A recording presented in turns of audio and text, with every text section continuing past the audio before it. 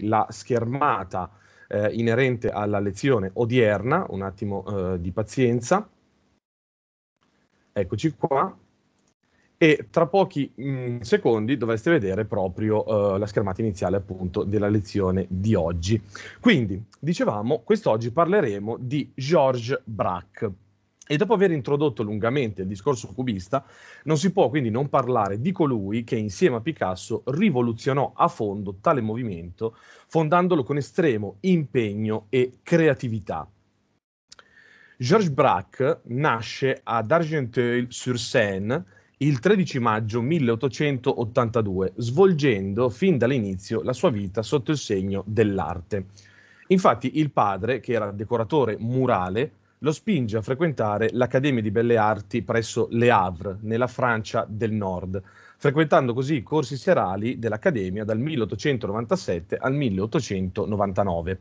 Poi eh, Georges Braque si trasferì a Parigi, città ovviamente cruciale per gli artisti del, eh, del secolo scorso, dove fu apprendista presso un maestro decoratore ed ottenne l'abilitazione al lavoro artigianale nel 1901.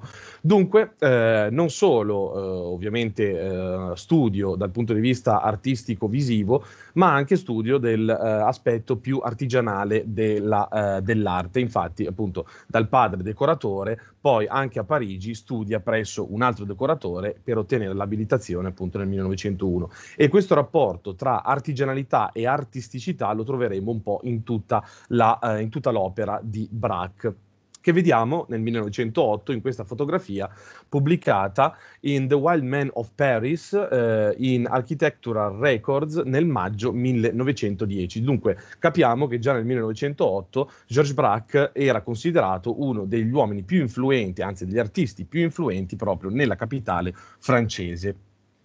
L'anno seguente, poi, siamo nel 1902, si iscrisse all'Académie Humbert che frequentò fino al 1904 e dove incontrò Marie Laurencin e Francis Picabia. Ovviamente, insieme a loro e a Picasso, fondò il movimento cubista.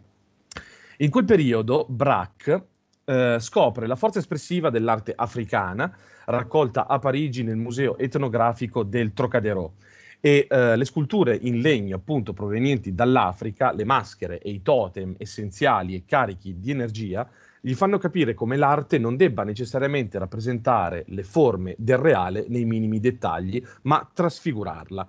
Ciò che conta dunque è riuscire a catturare come per magia un frammento di realtà e a comunicare l'intensa emozione provata dall'artista nel farlo. Come fare però tutto questo? C'è bisogno di un percorso che arri- eh, deriva eh, sempre dall'espressi- eh, dall'espressività appunto della eh, pittura fauve. Durante l'inverno del 1905-6, dopo essersi formato presso l'École des Beaux-Arts di Parigi e subendo l'influenza sostanziale di Henri Matisse, cominciò a dipingere alla maniera appunto dei fauve, ricorrendo all'uso sempre di colori brillanti e sfruttando la libertà della composizione. Dunque, eh, come prima eh, opera, vediamo proprio Paesaggio vicino ad Anversa del 1906, oggi custodito presso il Guggenheim Museum di New York. E qui il eh, legame con i FOV è palese, non solo nell'uso di colori timbrici, appunto acidi eh, dal punto di vista ehm, dei toni gialli, ma soprattutto è palese anche nel fatto che c'è ancora questo legame, eh, diciamo, realistico, oggettivo con il paesaggio che non sparisce ancora dalla composizione, ma viene trasfigurato proprio grazie a questi movimenti sinuosi e a questi colori secondari e complementari che in contrasto vanno a determinare tutta la eh, profondità del paesaggio stesso. Eh, notiamo una divisione eh, netta, molto interessante, tra la parte eh, inferiore, eh, contornata sempre da queste linee abbastanza pesanti, no? come era nello stile dei Fauve, e la parte superiore del cielo invece con queste pennellate molto più larghe, molto più espressive, che eh, offrono una connotazione completamente differente dalle opere di Matisse nel primo Braque sempre di questo periodo, è il ciclo, eh, il famosissimo ciclo dei paesaggi delle stack. Questo ciclo l'avevamo eh, citato la eh, volta scorsa quando parlavamo appunto del eh, nome cubismo, no? eh, che si pensava eh, nato da una critica di Louis Vossel proprio su questi dipinti di Braque, invece poi avevamo scoperto appunto che era stato lo stesso Matisse a... Ehm, in, a incominciare questa eh, nomenclatura di cubismo proprio dicendo, guardando un paesaggio di Braque, voilà le cube. E eh, appunto di questo periodo, dicevo, fanno parte eh, il ciclo dei paesaggi alle stack, questo che stiamo vedendo del 1906, oggi custodito presso il Guggenheim Museum di Bilbao. Eh, nette differenze dal paesaggio vicino ad Anversa, perché come vediamo la risoluzione del quadro è molto più piatta, le ehm, eh, i bordi, le, eh, i contorni del, eh, della vegetazione sono leggermente più marcati e eh, tutta questa sinuosità che dal cielo poi in maniera circolare si ripercuote anche sul terreno attraverso appunto le chiome degli alberi e attraverso le proprie ombre, eh, crea tutto un movimento unico no, che eh, va verso una sempre più marcata trasfigurazione del paesaggio che qui è veramente ridotto alla maniera più essenziale non solo eh, un movimento diciamo, eh, di progressione da questo punto di vista della semplificazione delle opere, ma anche un uh, ritornare indietro ogni tanto per uh, modificare la tavolozza oppure per aggiungere uh, sensibilità cromatica al proprio operato, come per esempio in, altro, um, in un altro paesaggio delle Stack, sempre del 6, che oggi è custodito presso il Centre Georges Pompidou di Parigi. Qui notiamo il ritorno del paesaggio proprio realistico, eh, già però eh, gestito con questi piani molto visibili, molto netti, che riportano il, la mente alla pittura di Cézanne e poi ehm, ci parlano già di questo cubismo in nuce che sta nascendo. Tutto questo però è mediato sempre da questi piccoli tocchi di colore alla maniera matissiana che eh, dal cielo appunto si riflettono nel colore blu-giallo del, ehm, del mare e, e, quindi creano una eh, vibrazione cromatica veramente molto interessante e eh, anche molto molto efficace proprio per il movimento stesso della rappresentazione. Eh, questo ciclo dei paesaggi alle stack diciamo, si concluderà verso il 1907-8 eh, con eh, questo quadro, appunto eh, oggi custodito presso una collezione privata, dove si nota una metamorfosi ulteriore della eh, pittura di Braque, infatti tutta quella vibrazione che vedevamo prima spa- eh, sparisce o perlomeno sta per scomparire del tutto grazie eh, ancora a questa chioma eh, gestita appunto con piccoli tocchi di colore puro che vediamo qua sulla parte sinistra del quadro, però eh, il soggetto principale è gestito già con piani eh, risolti con una pittura estremamente piatta e dunque eh, il cubismo di fondo comincia ave- a prendere il sopravvento. Infatti siamo giusto nel 1907, dunque nell'anno eh, cruciale di quella retrospettiva di Cézanne no? che eh, scardinerà ogni eh, tradizione pittorico-artistica d- eh, francese e non solo, e dunque proprio in questo periodo eh, nascerà anche la teorizzazione, come abbiamo già visto, del, um, della corrente cubista in du cubisme ma è l'incontro con Pablo Picasso, impegnato nello stesso anno nella realizzazione delle Damoiselles d'Avignon, a segnare in tutto e per tutto la sua vita artistica. Infatti, eh, proprio in quest'anno, eh, Braque conosce Picasso proprio a una di queste esposizioni del Salon d'Automne, eh, nella, nelle quali eh, partecipavano anche i primi cubisti, quindi lui, Picasso, Gris e eh, Marie Laurencin. E mh, mm, da questa amicizia poi, che durerà eh, parecchio tempo, eh, scaturiranno novità sostanziali dal punto di vista artistico nella ricerca dell'astrazione pura eh, dell'opera d'arte astrazione che aveva cominciato in maniera abbastanza eh, presente proprio Picasso, appunto nel Damoiselle d'Avignon, che è oggi custodito presso il Museum of Modern Art di New York, eh, nella ripresa anche di eh, temi classici, diciamo, della, eh, della corrente. Eh, dunque eh, ritorna questo discorso di prendere come soggetto un interno, no? infatti qui eh, sappiamo benissimo che viene ripreso l'interno di un bordello parigino e ehm, in questo interno Picasso appunto sfaccetta sempre di più la prospettiva piatta, che è un classico del, del cubismo, e ehm, cerca di mostrarci tutta tutta la scena no, da più angolazioni. Quindi siamo ancora nel periodo del protocubismo che poi sfocerà nel cosiddetto cubismo analitico, dove appunto vi è ancora un riconoscimento della figura, della forma, però eh, la... Ehm, i piani sfaccettati delle stesse cominciano a, eh, ad aumentare, dunque a complicare sempre di più la visione. Data la complicatezza della struttura, ovviamente Picasso cosa fa? Ehm, diminuisce i colori, quindi abbiamo una dominante di colori rossi-rosa sul primo piano eh, che contrastano con i, eh, azzu- gli azzurri-blu del tendaggio. Ovviamente c'è sempre una citazione a Cézanne con la natura morta, infatti poi come vedremo e come sappiamo eh, molte opere dei cubisti sia in pittura che in collage o in papier-collé eh, andranno a eh, rimarcare proprio questa, questa citazione della natura morta. Quindi eh, anche dal punto di vista cromatico, dal 1907 vediamo già quelle particolarità cubiste no, di andare verso una tavolozza sempre meno eh, sgargiante, con colori eh, sempre più tenui, eh, i quali devono appunto marcare questa eh, complessità del, ehm, del, del segno e anche della costruzione. Tutte e due quindi Picasso e Braque, imparano molto bene la lezione di un altro grande artista morto da pochissimo, infatti morto l'anno prima, appunto Paul Cézanne, che aveva rinnovato la pittura rappresentando la natura e le cose come se fossero figure geometriche da scomporre e ricostruire. Qui eh, si ritorna al famoso, eh, alla famosa frase di Cézanne, no? Di eh, ricostruire la realtà attraverso eh, appunto il cilindro, la sfera, il cubo, eh, proprio per avere, perché queste sono le, eh, le, forme che secondo lui gestivano tutte le cose naturali e quindi per avere una esattezza maggiore e anche una eh, diciamo trasfigurazione maggiore della, eh, del soggetto, lo stesso soggetto che poi dovrà ehm, appunto in Cézanne eh, esprimere quello che era il sentimento dell'artista, qui nel uh, cubismo invece dovrà esprimere questo uh, apparato molto scientifico e analitico appunto no, del pensiero della corrente, cosa che si vede benissimo in Donna con Ventaglio del 1908, oggi custodito presso il Museo dell'Ermitage di San Pietroburgo, dove appunto qua uh, risulta palese ancora di più il discorso cromatico della sintetizzazione del, del colore. Infatti qua abbiamo a che fare solamente con colori grigi, bianchi e marroni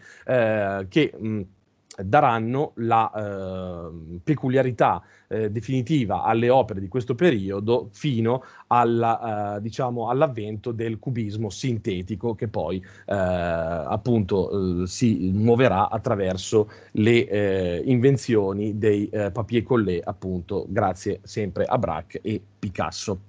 Anche qui vediamo questo eh, ritorno sempre all'arte africana, infatti eh, proprio in, avevano detto che proprio i Fauve furono i primi a studiare, a, a tornare a studiare questa tipologia di arte. Infatti, poi negli stessi anni, tra fovismo e cubismo, nascerà anche il cosiddetto movimento primitivista, no, del quale fece parte Henri Rousseau, detto il doganiere, poi eh, definito, diciamo, incasellato sotto la dicitura di pittore naif. Dunque, figure geometriche, appunto, no, per scomporre e ricostruire la natura. Ispirandosi alla forza di, di quest'arte africana e alla geometria di Cézanne, Braque e Picasso creano appunto il cubismo, che fu una delle più importanti rivoluzioni della forma pittorica moderna. Ricorrendo ovviamente a volumi geometrici e riducendo la tavolozza, come dicevamo, alle tonalità del verde e del bruno, Braque cercò di dare forma e di costruire lo spazio esistente tra i volumi della composizione senza l'ausilio di artifici quali la prospettiva e il chiaroscuro. Tutto questo è visibilissimo in Bagneuse, detto anche Le Grand Nu eh, del eh, 1908, quindi stesso anno della Donna con ventaglio di Picasso, eh, quadro oggi custodito presso il Musée National d'Art Moderne del Centre Pompidou di Parigi. Infatti, eh, nel Grand Nu Egli costruisce l'anatomia con ampie e brevi pennellate che suggeriscono i volumi chiusi in una spessa e nera linea di contorno, sempre ripresa da quella eh, diciamo, eh, branca del fovismo riconducibile a Dufy e a Rouault, che eh, utilizzavano questa linea molto più marcata alla moda espressionista. Quindi la, eh, l'azzeramento della prospettiva è palese, abbiamo solo una sorta di tendaggio che eh, è posto dietro eh, appunto la, eh, la, figura della bagneuse, soprattutto poi ehm, abbiamo praticamente eh, la...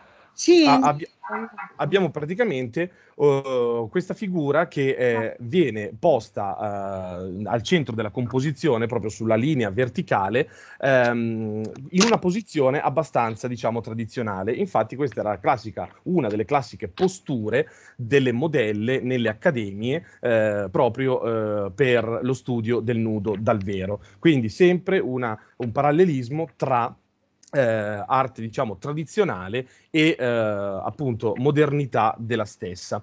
Anche in questo caso, come nella donna con ventaglio, o come dicevamo, la, eh, la cromia eh, diventa sempre meno marcata, sempre più eh, appunto sommessa. Qui addirittura eh, il, tutto il quadro è gestito solo ed esclusivamente con i colori eh, terrosi dei Siena e, e, i grigi tendenti all'azzurro, dunque un contrasto di colori caldi e freddi proprio per avere diciamo, la eh, tridimensionalità della bagneuse che poi come vediamo è... Ehm, appunto eh, risolta eh, nel perfetto stile delle eh, maschere africane proprio solo con una linea di espressione. Dunque applicò Braque questi stessi principi di costruzione geometrica, come abbiamo visto, ai, eh, ai, nudi, ai ritratti, ma anche ai paesaggi e alle nature morte. Dunque Braque fu uno dei, ehm, eh, degli esponenti del cubismo che lavorò molto sul discorso della natura morta. Tra il 1909 e il 1914 i progressi nell'arte plastica di Braque e Picasso sono favoriti da una proficua amicizia, appunto, no, che li legherà per tutto questo periodo di passaggio dal cubismo analitico a quello sintetico. Da questo stimolante connubio nacque una nuova visione dello spazio pittorico che presenta oggetti smembrati e sfaccettature create ancora eh, più eh, in maniera complicata dallo spezzettarsi dei piani, eh, cosa che abbiamo visto proprio la volta scorsa in quella spiegazione molto accurata di eh, Glaise e eh, di eh, Metzinger che in Du Cubisme facevano vedere proprio come si procedeva, come il cubista procedeva alla scansione spaziale e alla divisione dei piani. È questa la fase del cosiddetto cubismo analitico e lo si vede molto bene in violon e palette, detto anche violino e tavolozza, eh, violon e palette dans l'atelier, eh, quadro del 1908, oggi custodito presso il Guggenheim Museum di New York nel quale ehm, si nota innanzitutto una cosa molto particolare, il formato. Il formato, come eh, ripetiamo sempre, nell'opera d'arte, soprattutto pittorica, è fondamentale, si inizia da quello proprio per studiare la composizione del, ehm, della rappresentazione, anche perché lo stesso formato poi darà il carattere alla, ehm, a, al soggetto. Quindi qui il formato è addirittura di 42,8 di larghezza per 91,7 di altezza, quindi eh, molto stretto e molto alto per permettere al pittore di eh, avere questa linea, diciamo, ascensionale eh, appunto eh, nella, eh, nella, composizione.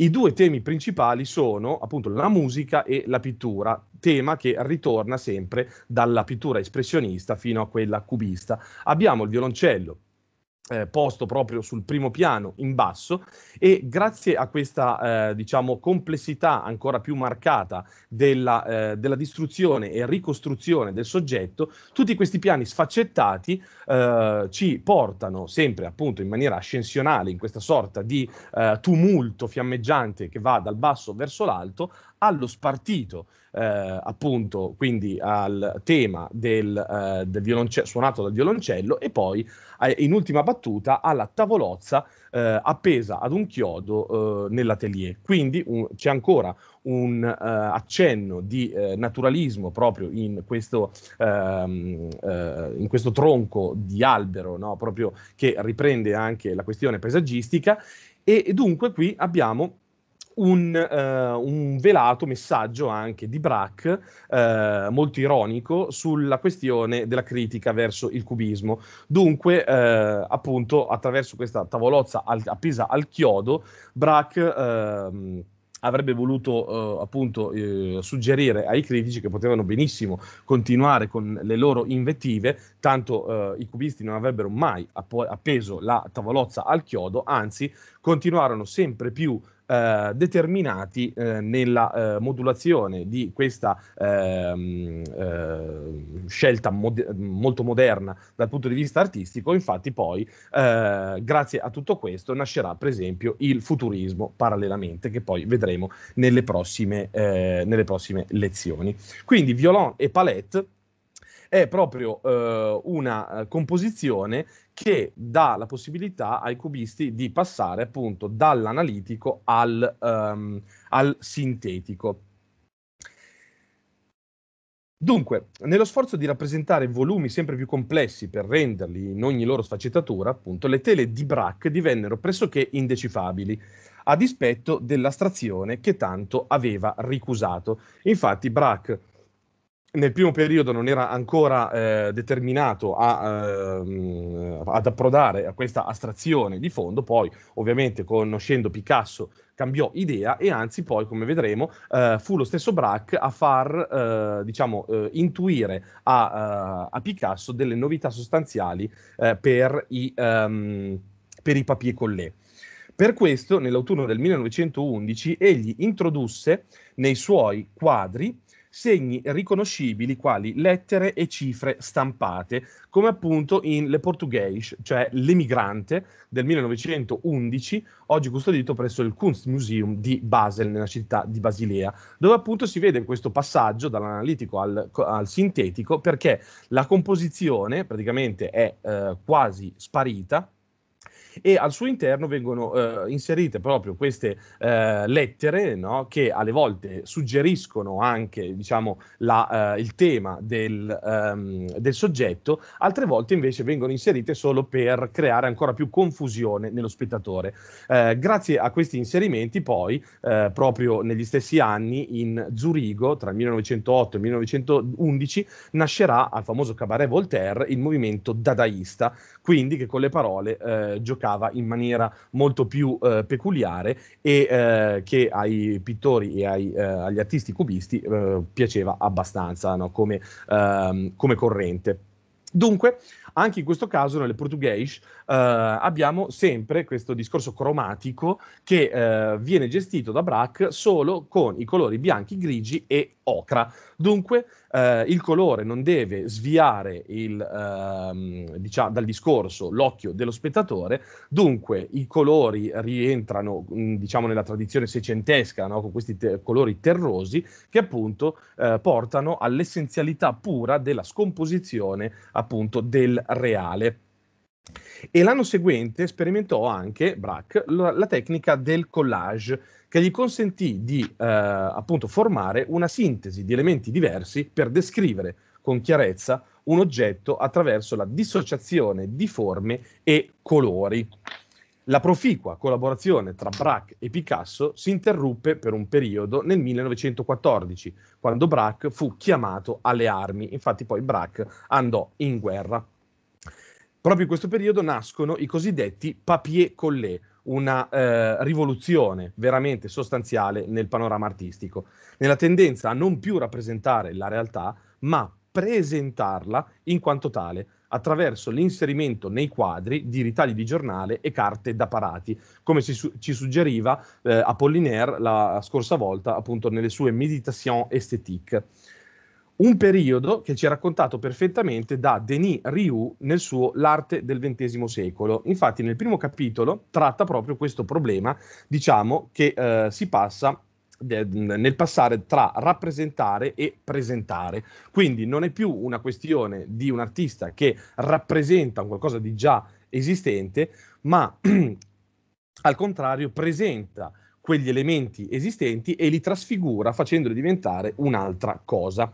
Infatti Ryu eh, comincia il suo discorso dicendo al centro di un disegno realizzato nel 1908, Picasso incolla un pezzo di carta forse ricavato da una réclame per il Louvre, grande magazzino noto a tutti, sul quale dipinge una barca in modo che appaia in lontananza tra due bagnanti in primo piano. La scritta tipografica au Louvre posta sul verso rimane leggibile.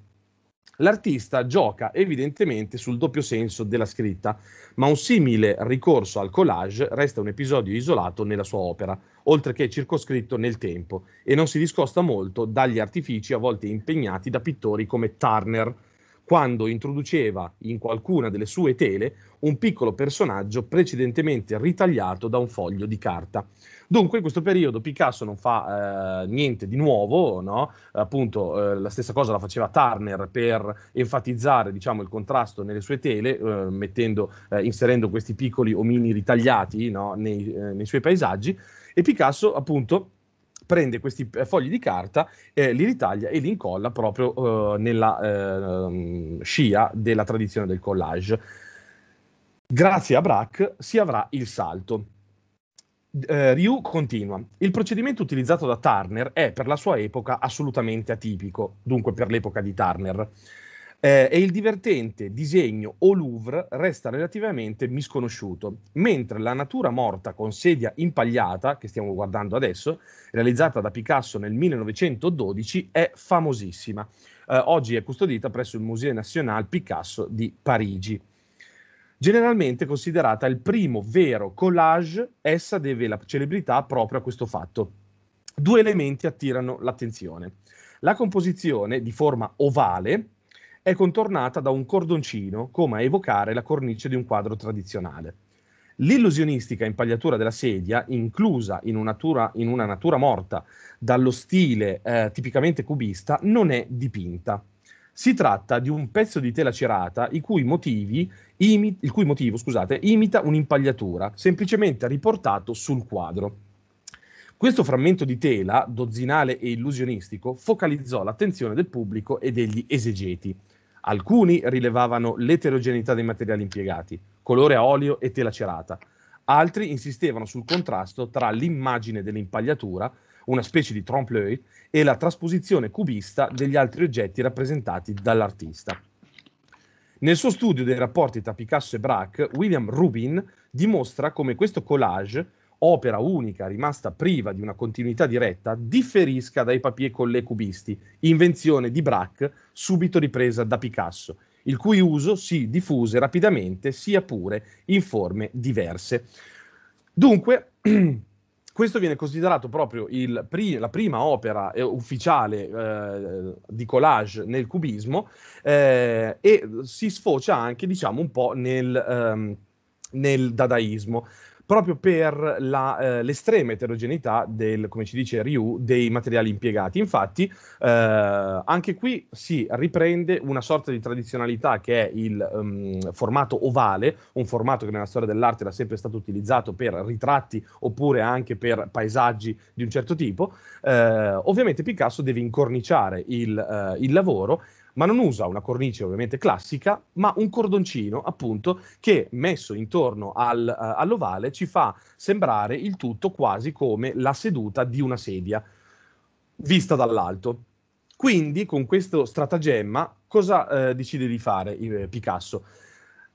Va a cercare una tela cerata che uh, appunto imiti questa tramatura della sedia, la incolla e su di essa dipinge appunto una natura morta. Quindi abbiamo una doppia eh, visione tra un oggetto reale, tangibile, che sembra appunto una sedia, e una sedia finta sulla quale è adagiata una natura morta. Quindi ecco qual è la, eh, il gioco mentale e visivo che i cubisti portavano avanti nei collage e nei papier collé. Cos'è la differenza? Appunto, che i papier collé eh, erano utilizzati, erano formati, scusate, utilizzando solamente carte, soprattutto carte da parati. Dunque eh, si eh, procede sempre a una eh, essenzialità dell'opera anche nel papier collé, e, eh, cosa che differisce ovviamente dal lavoro di Picasso, e proprio questa novità gli verrà suggerita da, uh, da Braque e ce lo racconta sempre Ryu in maniera molto particolare e peculiare.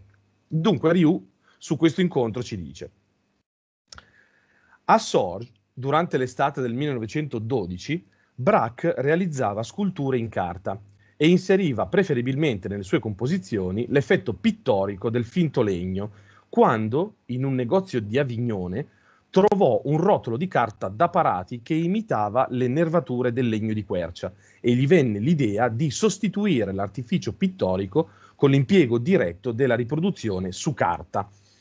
Un modo per preservare la coerenza della composizione cubista, per nulla inficiata dal collage, qui concepito come semplice artificio tecnico. Quindi Braque in questo uh, periodo, del quale fa parte Natura Morta su un tavolo con Gillette, uh, vuole appunto uh, procedere sempre con questo discorso di non più rappresentare, bensì presentare la realtà.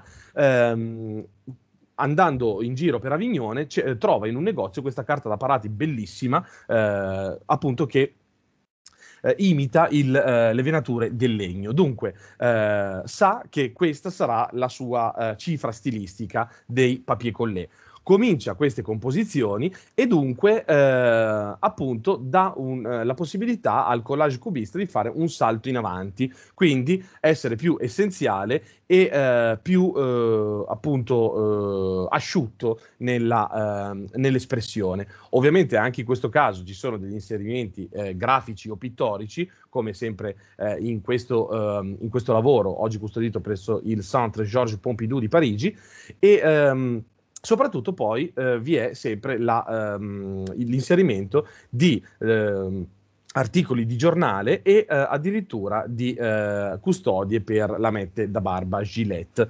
Quindi eh, anche una sorta di, ehm, eh, di, cambiamento eh, proprio dal punto di vista sociologico dell'arte cubista che si avvaleva anche della ehm, pubblicità proprio per eh, aumentare questa sorta di spaesamento tra rappresentazione e presentazione appunto dei, ehm, degli elementi reali. La differenza, continua Ryu, rispetto alla natura morta con sede impagliata, anche se non salta agli occhi, è comunque sostanziale e William Rubin ha ragione a opporre nell'ambito del cubismo una logica del collage alla logica dei papier collé. Di lì a poco Picasso, in visita proprio uh, da Braque, posto di fronte alle recenti creazioni dell'amico, in particolare Fruttiera e Bicchiere del settembre 1912, rimane vivamente impressionato. Appena tornato a Parigi, Picasso scrive a Braque adotto i tuoi ultimi procedimenti papiracei e polverosi. Quindi, proprio nel 1912, dopo essere tornato a Parigi da questa eh, visita a Braque, anche Picasso rimane folgorato da questo portafrutta e bicchiere, eh, appunto sempre gestito attraverso queste carte eh, appunto finte, uh, di finto legno che vengono inserite e sulle quali poi Braque va a disegnare. Dunque eh, ci sono qui degli elementi eh, riconducibili appunto al portafrutta che viene disgregato sempre in maniera cubista e poi al, ehm, eh, alla frutta stessa, no? l'uva che viene anch'essa diciamo eh, trasfigurata e riflessa da una parte all'altra della composizione. Ovviamente ci sono sempre inserimenti eh, di lettere, appunto, eh, con questo bar, no? quindi eh, si immagina anche una sorta di eh, ambientazione, appunto, di locale pubblico e Picasso, appunto, come dicevamo, eh, rimane folgorato da eh, questa essenzialità, da questa asciuttezza di Braque. Infatti, la eh, differenza era anche questa: Braque era più rigoroso e lucido, eh, Picasso, invece, data la, l'origine spagnola, molto più esplosivo e eh, colorato, creativo.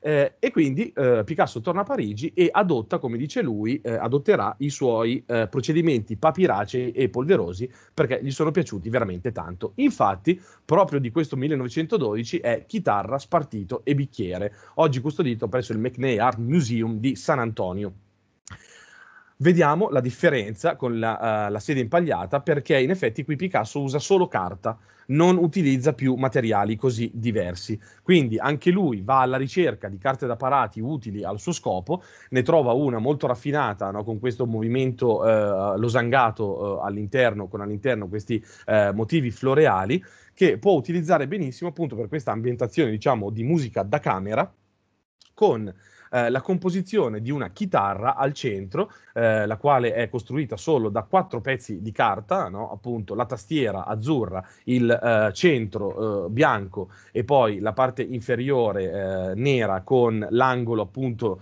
in, finta, in, finto legno, che riprende anche proprio il materiale vero del, della chitarra. Di fianco Picasso disegna la... Ehm, la parte superiore del manico della chitarra, che ovviamente non è possibile inserire eh, al di sopra della stessa, quindi lo mette di fianco per farcelo vedere, ovviamente sempre in maniera cubista, e um, al di sopra in- inserisce un uh, pezzo di spartito musicale uh, proprio per, come aveva fatto Braque no? nel suo um, violone palette, uh, per appunto dare la, il suggerimento allo spettatore che si sta trattando di un concerto da camera, diciamo, no? co- compreso di spartito. Al di sotto c'è sempre questo uh, frammento di giornale, quindi con le journal, ehm, che qui funge soprattutto da base, diciamo, o da tavolo di, per la chitarra. Infatti vediamo che la parte nera della chitarra si adagia proprio sul eh, pezzo delle journal per eh, offrire una ehm, eh, stabilità maggiore alla composizione. Dunque, dicevamo appunto che in questo periodo uh, Picasso adotterà i, i, um, uh, gli stratagemmi di Braque.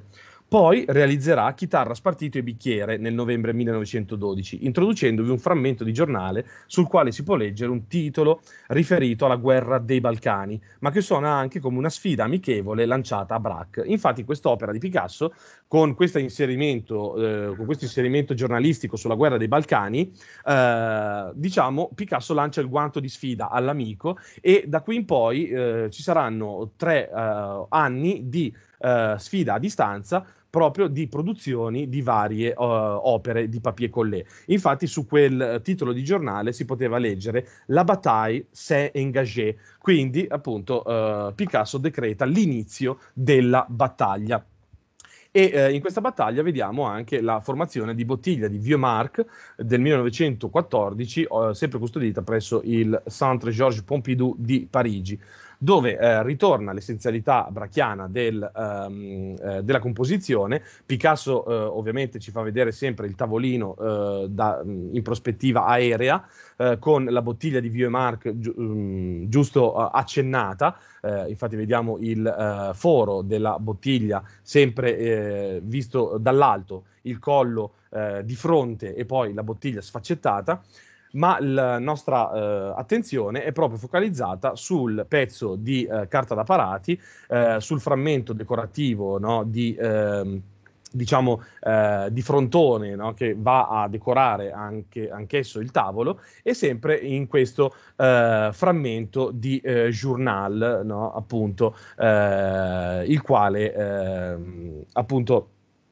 deve suggerirci sempre qual è, ehm, qual è la, eh, l'intenzione del, eh, del, pittore e eh, appunto qui vediamo qual è eh, perché riusciamo a eh, intravedere International Education Physique quindi in questo caso eh, Picasso vuole suggerire che il suo lavoro è un'educazione inter- proprio internazionale della fisica no? forse il giornale parlava proprio di un convegno in questo senso e dunque i due, stimolati da una reciproca emulazione, hanno gettato le basi di una rivoluzione artistica che deve la propria forza più alla qualità nativa delle loro opere, alla loro fulminea riuscita, che alla elaborazione strettamente tecnica. Infatti l'elaborazione tecnica è molto semplice, come si può vedere in Natura Morta con bicchiere giornale di Braque del 1913, custodito oggi presso il Berggruen Museum di Berlino. Eh, gli, gli elementi sono sempre gli stessi, qui però vi è un uh, aumento maggiore della pittura perché in effetti qua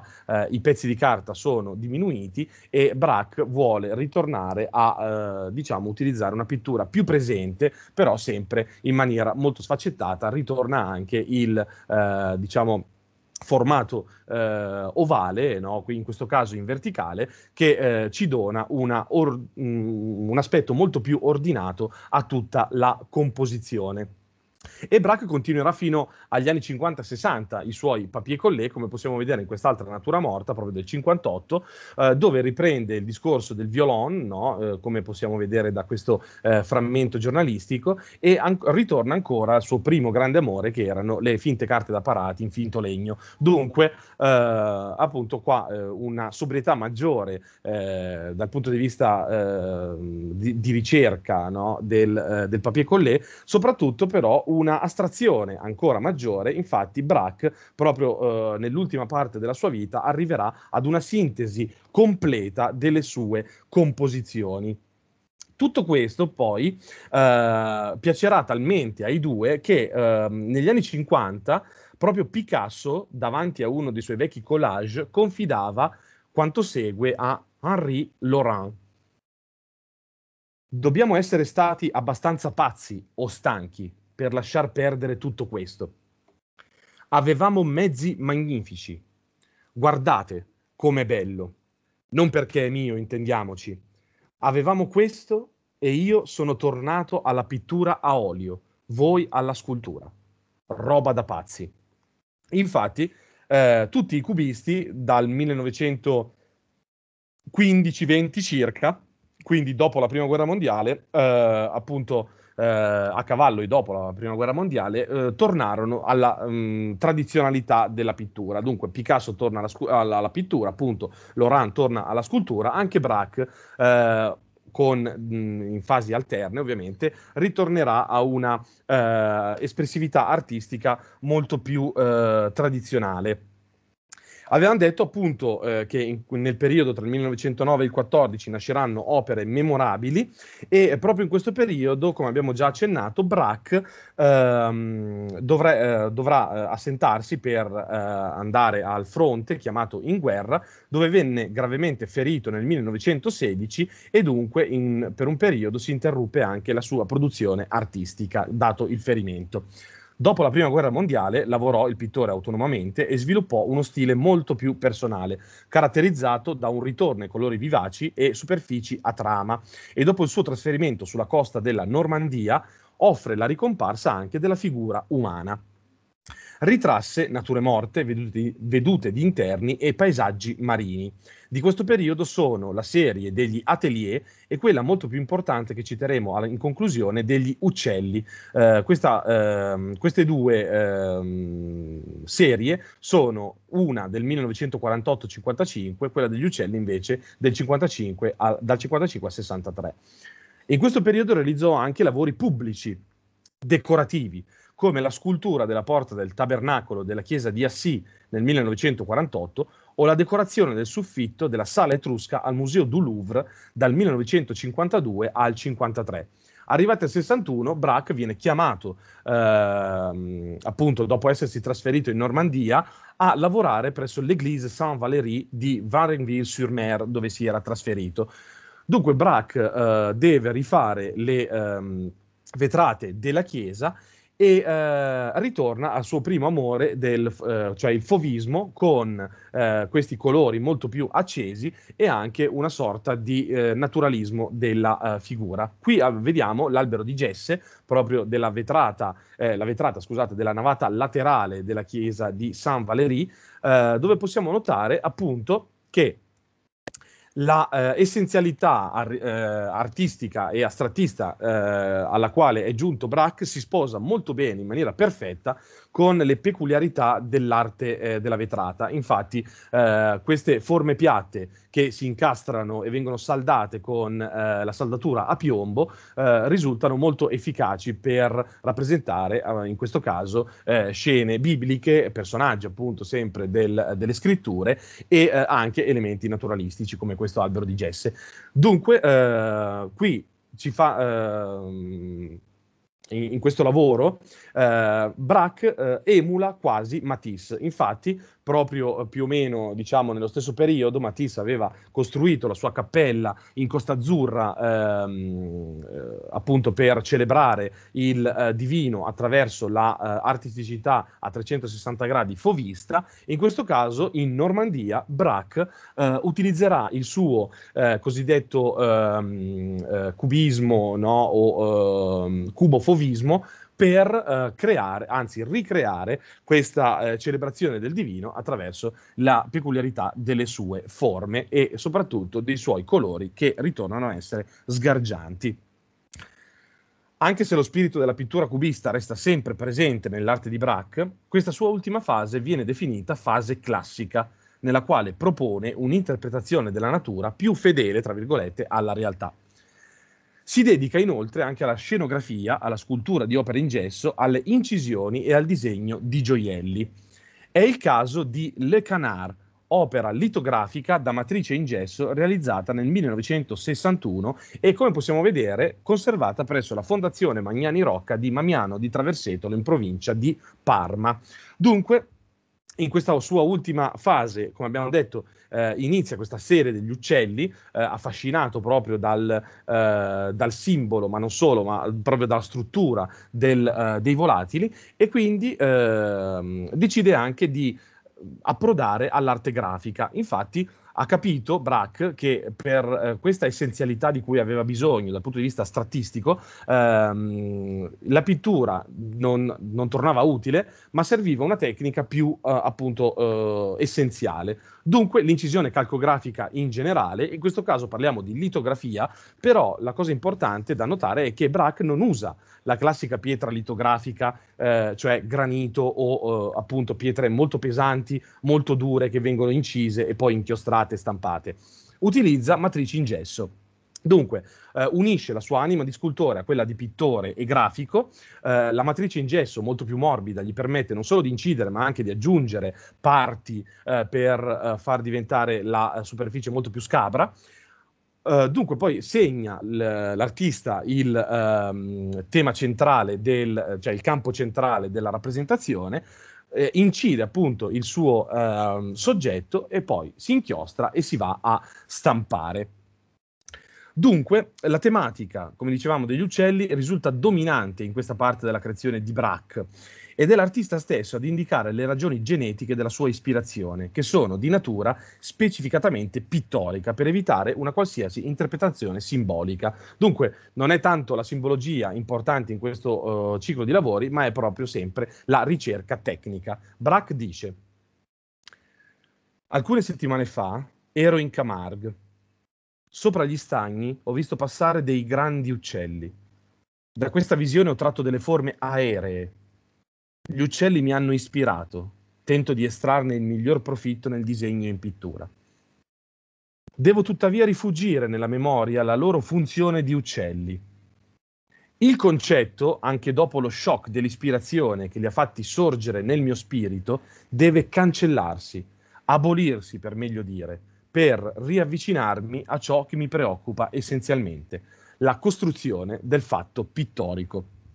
Quindi ammira Braque i, eh, la linea, la sinuosità e anche la, eh, le fattezze degli uccelli in quanto tali, però queste loro caratteristiche bisogna che eh, si eliminino anzi si aboliscano, come dice lui, dalla sua mente per essere ricostruite da zero in maniera totalmente diversa e in maniera appunto eh, molto più personale dallo stesso Braque no? nel fatto pittorico. Ecco come si procede appunto per eh, la cosiddetta astrazione pura dalla eh, realtà tangibile invece poi alla ricostruzione totalmente mentale del soggetto. Questa litografia, come possiamo vedere, presenta un fondo bipartito verticalmente, nero e azzurro, contro il quale si staglia la sagoma bianca dell'anatra, che sembra volare dalle tenebre verso la luce, cioè dalla notte verso il giorno. D'altra parte, René Dessolier, uno dei più accreditati interpreti dell'arte di Braque, ha rilevato in queste sue opere l'assenza di dinamiche ascensionali, dunque eh, verticali, e quindi delle correlate simbologie. Braque diceva che la simbologia non c'entrava niente, però secondo René, appunto, Dessolier, eh, una sorta di minima simbologia doveva assolutamente esserci perché queste composizioni sono tutte orizzontali. Dunque c'è sempre questo movimento da sinistra verso destra o eh, viceversa che deve avere assolutamente una sorta di eh, interpretazione e infatti poi ce l'avrà grazie proprio a una frase dello stesso Braque. Lo stesso critico poi ha sottolineato l'aspetto rigido dei volatili ricer- ricreati dall'artista, a forza di tocchi sovrapposti di materia spessa che si muovono in uno spazio denso, solido, reso attraverso un impasto estremamente corposo, caratteristiche queste ultime che il procedimento litografico da matrice in gesso rende con una buona precisione, grazie alla superficie irregolare e scabra sulla quale si realizza la figurazione. Dunque con le canard emergono alcune caratteristiche essenziali tipiche della pittura di Braque, cose che ovviamente aveva già nel primo periodo della sua carriera, ma che ritornano in maniera pre- eh, prepotente. Innanzitutto la sobrietà assoluta nella resa dello spazio, quindi quella eh, essenzialità cubista che si è portato dietro per tutta la vita. Le forme semplificate e appiattite, che in effetti sembrano più eh, incisioni rupestri piuttosto che rappresentazioni appunto moderne. La selezione cromatica rigorosissima, ristretta in questo caso a tre colori, nero, bianco e azzurro. Rigore appunto che eh, differiva da quello di Picasso. Secondo poi le parole di Jean Paulin, l'immagine di un uccello in volo comparve per la prima volta su uno dei cahiers di Braque, accompagnato dalla seguente riflessione. Ecco forse l'interpretazione inconscia che lo stesso Braque diede in uno dei suoi cahiers, eh, appunto, eh, de, di appunti, eh, sui quali scriveva una frase proprio per ragionare su questo tema dei, eh, dei volatili, degli uccelli. Infatti Braque scrisse, senza tregua corriamo dietro al nostro destino.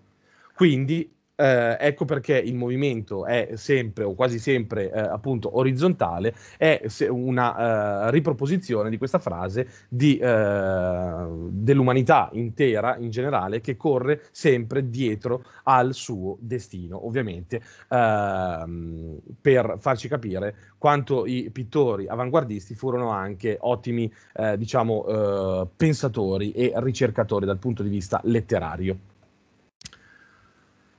Riconosciuto universalmente come uno dei maggiori pittori del XX secolo, Georges Braque muore il 31 agosto 1963 presso Parigi. Però venne sepolto, come possiamo vedere, nel cimitero marino di Varennes-sur-Mer, proprio in Normandia. Quindi muore a Parigi, e viene ritrasferito nella tomba che aveva approntato per lui e sua moglie eh, in, eh, in, Normandia. Infatti qua vediamo proprio la tomba di Georges e Marcel Braque per eh, diciamo eh, ritornare a quel legame stretto con l'ambiente naturale che tanto gli era caro eh, nella, eh, e gli è stato caro nella sua artisticità. Picasso un, una delle tante volte che eh, veniva interrogato sul suo rapporto con Braque, un giorno disse una frase molto importante e che ci fa capire che importanza poi sostanziale ha avuto la uh, ricerca di Braque in, in, proprio nella pittura e non solo. Picasso disse: Braque e James Joyce sono gli incomprensibili che tutti capiscono. Dunque, con questa frase, Picasso eh, racchiude questa rigorosità di Braque, che ovviamente viene associata a quella di James Joyce, dunque due artisti molto coscienziosi e anche molto severi dal punto di vista della costruzione delle opere d'arte. Infatti, ricordiamo che anche l'Ulisse di Joyce è una vera pietra miliare proprio grazie a questa eh, rigorosa ehm, eh, ricerca di Joyce. Dunque, vengono appunto associati da Picasso.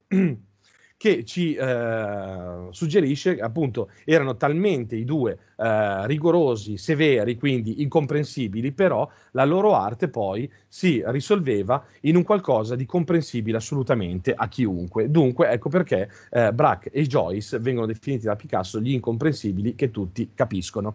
E eh, diciamo per chiudere il discorso vediamo che dalla stessa tomba di Braque esce fuori un mosaico un mosaico eh, proprio su tema eh, volatile, no? quindi ritorna ancora una volta questo, eh, questa tematica cara a Braque, no? proprio degli uccelli, che viene impresso per sempre sulla sua sepoltura, eh, cosa che ci fa immaginare che anche in questo caso, no? anche dopo morto, Georges Braque ci ripeta sempre quella sua fatidica frase che senza tregua anche noi corriamo dietro il nostro destino.